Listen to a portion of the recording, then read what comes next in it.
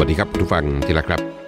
คอลัมน์คิดเขียนคุยนะครับ ซึ่งเขียนโดยคุณรุ่งเรืองปรีชากุล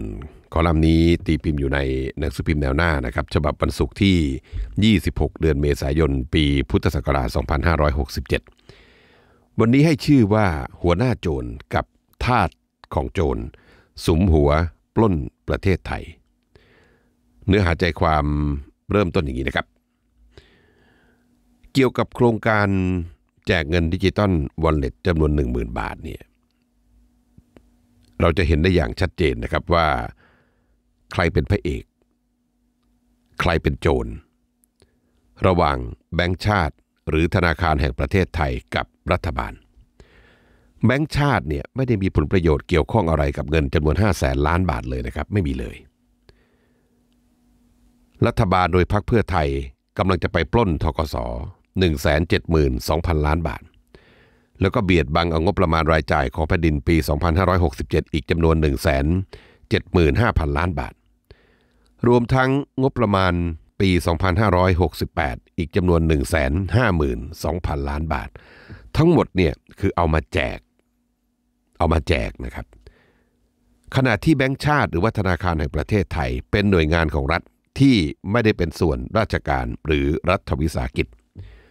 มีหน้าที่หลักในการบริหารจัดการให้ระบบเศรษฐกิจและการเงินของประเทศเนี่ยดำเนินไปด้วยความเรียบร้อย โดยเฉพาะมีบทบาทที่จะช่วยสนับสนุนให้เศรษฐกิจของประเทศเติบโตได้อย่างมีเสถียรภาพและยั่งยืน ด้วยเหตุนี้แหละครับ จึงตัดปัญหาออกไปได้เลยนะครับ ว่าแบงก์ชาติไม่ได้มีผลประโยชน์อะไรกับโครงการนี้ จะมีก็อย่างเดียวเท่านั้นแหละครับ คือผลประโยชน์ของประเทศชาติเป็นที่ตั้ง ความเห็นที่เศรษฐพุทธสุทธิวาฒนรพุทธซึ่งเป็นผู้ว่าการธนาคารแห่งประเทศไทย หรือที่เรียกกันว่าแบงก์ชาติ ได้ทำหนังสือลงวันที่ 22 เมษายน 2567 เพื่อเสนอเป็นความเห็นประกอบการพิจารณาในที่ประชุมคณะรัฐมนตรี ก่อนหน้าที่คณะรัฐมนตรีจะมีมติเห็นชอบรับหลักการโครงการ digital wallet ในวันรุ่งขึ้นเนี่ยนะครับ เนื้อหาเนี่ยบ่งบอกถึงผลลบของโครงการนี้อย่างชัดเจนนะครับ โดยสรุปก็คือประการแรก โครงการนี้จะก่อให้เกิดภาระทางการคลัง ในระยะยาวเป็นจำนวนมาก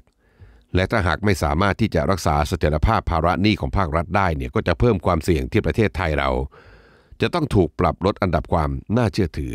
ซึ่งถ้าหากว่าไทยถูกปรับลดอันดับความน่าเชื่อถือเนี่ยนะครับมันจะทำให้ต้นทุนการกู้ยืมทั้งภาครัฐและภาคเอกชนเนี่ยปรับเพิ่มสูงขึ้น รวมถึงอาจจะกระทบต่อความเชื่อมั่นของนักลงทุนในภาพรวมด้วยนะครับ ประการที่ 2 ครับ การดำเนินโครงการนี้ต้องใช้วงเงินงบประมาณสูงถึง 5 0 0แสนล้านบาท ซึ่งนั่นเนี่ยจะทำให้ความสามารถในการดำเนินนโยบายการคลังอื่น ๆ ของรัฐบาลน้อยลงตามไปด้วย และมีความเสี่ยงที่จะมีงบประมาณไม่พอเพื่อรองรับสถานการณ์หรือว่าภาวะฉุกเฉินนะครับ แบงก์ชาติเห็นว่าการเพิ่มวงเงินกู้ในปีงบประมาณ 2568 ไปเพิ่มจนเกือบจะเต็มกรอบที่กฎหมายกำหนดเอาไว้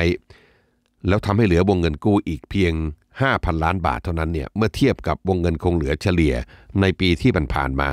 มากกว่า1 0 0 0 0แสนล้านบาทคนละเรื่องเลยนะครับ และนอกจากนั้นเนี่ยนะครับการจัดสรรวงเงินจากงบประมาณปี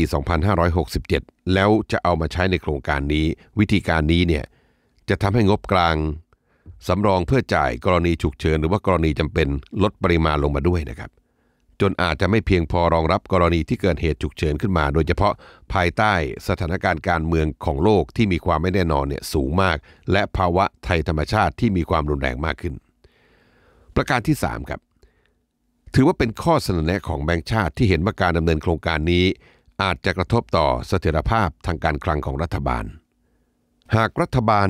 ยังคงดึงดันว่าจะทำให้ได้เนี่ยก็ควรจะทำในขอบเขตที่ครอบคลุมเฉพาะกลุ่มเป้าหมายที่ต้องการความช่วยเหลือเท่านั้นนะครับ เพื่อเป็นการแบ่งเบาภาระค่าครองชีพ ช่วยกระตุ้นเศรษฐกิจได้อย่างมีประสิทธิผล คุ้มค่าและใช้งบประมาณที่ลดลง กลุ่มเป้าหมายนี้เนี่ยนะครับ แบงก์ชาติเน้นไปที่กลุ่มเปราะบาง ซึ่งยังมีรายได้แบบไม่ฟื้นตัวเต็มที่ เช่นกลุ่มที่มีรายได้น้อย หรือว่าผู้ถือบัตรสวัสดิการแห่งรัฐ ซึ่งมีอยู่ทั้งหมด 15 ล้านคน ในส่วนนี้สามารถดำเนินการได้ทันทีนะครับโดยใช้งบประมาณเพียงแค่ 1 5 0 0 0 0 ล้านบาท ประการสำคัญที่สุดครับแบงก์ชาติเห็นว่ารัฐบาลควรจะพิจารณาถึงความคุ้มค่า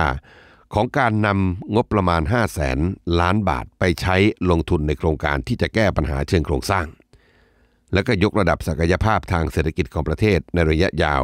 เช่น โครงการพัฒนาบุคลากรทางการแพทย์ ซึ่งใช้เงินเฉลี่ยตำแหน่งละ3ล้าน8แสนบาท แปลว่าจะสามารถสร้างบุคลากรทางการแพทย์ได้ถึง 1 3 0 0 0 0ตำแหน่งนะครับ หรืออย่างโครงการเรียนฟรี 15 ปีสำหรับนักเรียนทั่วประเทศ ปีละประมาณ 83,000 ล้านบาท นั่นเท่ากับจะสามารถสนับสนุนได้นานถึง 6 ปีทีเดียว โครงการรถไฟทางคู่ช่วงจากนครปฐมไปชุมพรสายละ40,000 ล้านบาท จะพัฒนาได้ไม่ต่ำกว่า 10 สายนะครับ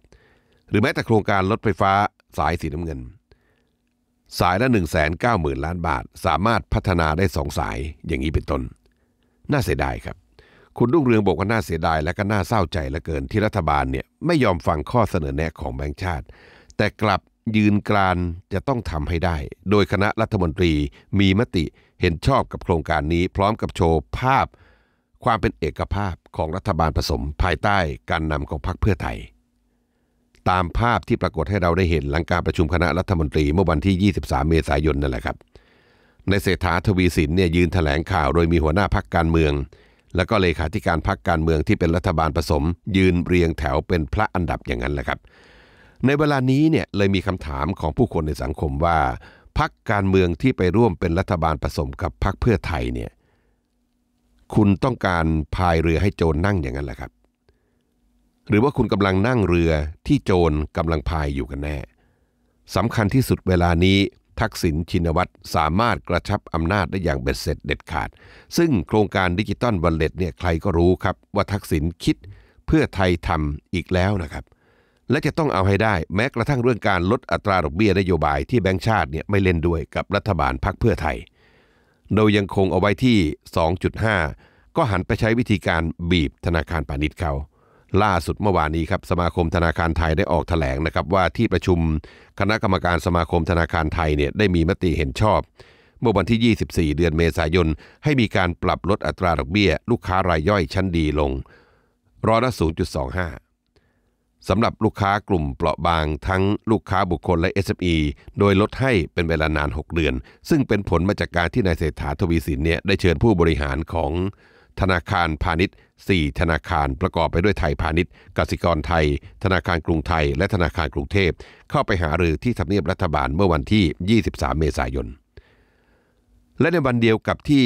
สมาคมธนาคารไทยแถลงเรื่องการปรับลดอัตราดอกเบี้ยท่ามกลางข่าว การปรับคณะรัฐมนตรีเศรษฐาสองที่ลงตัวไปแล้วเรียบร้อยที่บ้านจันทร์สองล่าเนี่ยนะครับปรากฏว่านายเศรษฐาทวีสินซึ่งมีสถานภาพเป็นนายกรัฐมนตรีของประเทศนี้นะครับ นายเศรษฐากับนายภูมิธรรมเวชยชัย ซึ่งเป็นรองนายกรัฐมนตรี และรัฐมนตรีว่าการกระทรวงพาณิชย์ของประเทศนี้ ทั้งสองคนนี้เข้าไปรายงานตัวไปกินข้าวมื้อกลางวันกับนักโทษเด็ดขาดชายทักษิณชินวัตร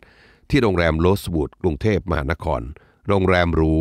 ระดับ 5 ดาวกลางเมืองหลวง ระแวกถนนเพลินจิต ซึ่งเคยเป็นข่าวมาก่อนหน้านี้ว่าเป็นโรงพยาบาลทิพย์อีกแห่งหนึ่งที่ทักษิณเนี่ยพำนักช่วงรักษาอาการป่วยวิกฤตบนชั้น 14 โรงพยาบาลตำรวจ